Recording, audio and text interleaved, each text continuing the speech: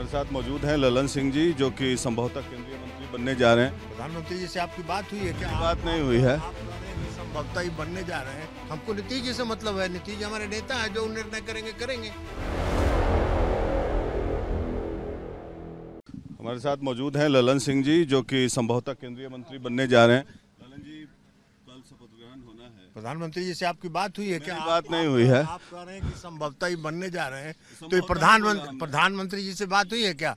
आप भी उसी में है जैसे लगता है कि हमारी बात आप ही से होती है। कल प्रधानमंत्री बात आपसे होती है। सुनिए ना ओहो बिहार के रहिए चाहे कहीं के रहिए।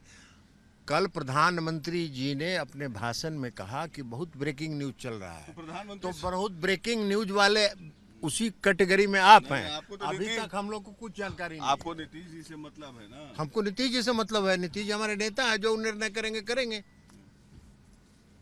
और ये बताइए क्या बिहार के विकास के लिए भी आगे बिहार के विकास के लिए सदैव नीतीश जी चिंतित हैं और केंद्र की सरकार भी चिंतित है और बिहार में जो बचा हुआ काम है उस काम को राष्ट्रीय ने जनतांत्रिक गठबंधन पूरा करेगी। कल नीतीश कुमार जी ने अपने भाषण में भी इस बात को कहा था।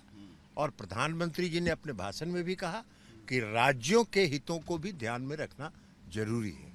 राज्यों के हित मतलब स्पेशल कैटेगरी स्टेटस हमको नहीं मालूम है ये आप एक्सपेकुलेट करिए आप एक्सपेकुलेट कर कर सकते हमारी party Janata Dal United Bharatiya Janata party संसदीय दल के नेता आदरणीय श्री नरेंद्र मोदी जी को भारत के प्रधानमंत्री पद के लिए समर्थन देती है।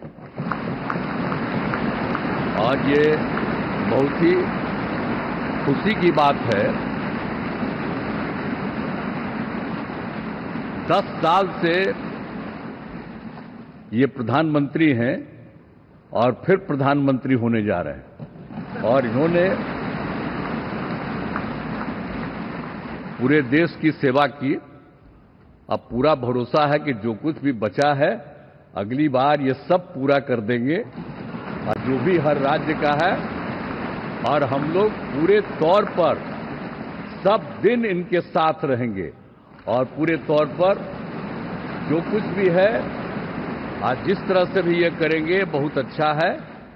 और आप जान लीजिए कि कुछ लोग हम लोगों को तो अब लगता है कि अगली बार जो आप आइएगा ना तो इस बार हम देखें कि कुछ इधर उधर कुछ जीत गया है, अगली बार सब हारेगा। हमको पूरा भरोसा है। ये सब बिना मतलब का बात बोल बोल करके, बिना मतलब का बात बोल बोल करके क्या किया है? और ये सब कोई काम किया है? उन लोगों ने आज तक कोई काम नहीं किया।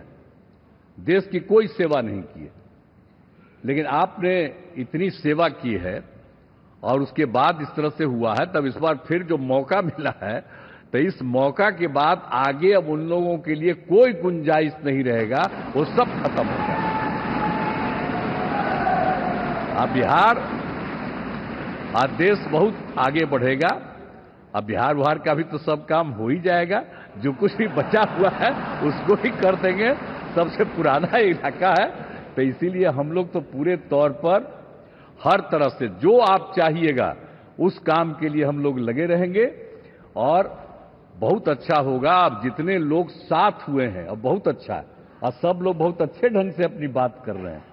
तो सब लोग ठीक हैं, हम मिल करके सब लोग चलेंगे, और हम लोग पूरा आपके साथ रहेंगे, और आप पूरे देश को कितना आगे बढ़ाएँगे, ये बहुत खुशी की बात होगी। यही हम लोगों को कहना है। और मेरा आग्रह यही है कि जल्दी से जल्दी आपका काम शुरू हो जाए, शपथ ग्रहण हो जाए।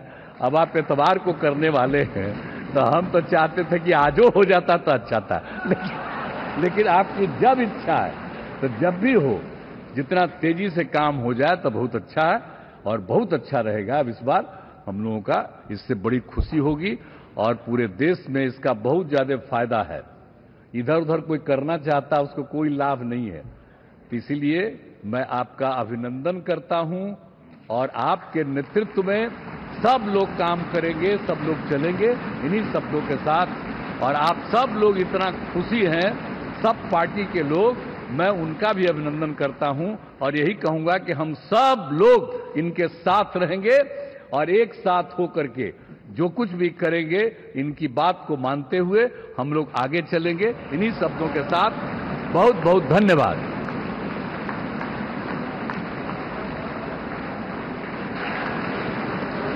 मैं एनडीए के हमारे साथ मौजूद हैं ललन सिंह जी जो कि संभवतः केंद्रीय मंत्री बनने जा रहे हैं। प्रधानमंत्री जी से आपकी बात हुई है क्या? बात नहीं हुई है। संभवतः ही बनने जा रहे हैं। हमको नीतीश जी से मतलब है नीतीश जी हमारे नेता है जो निर्णय करेंगे करेंगे।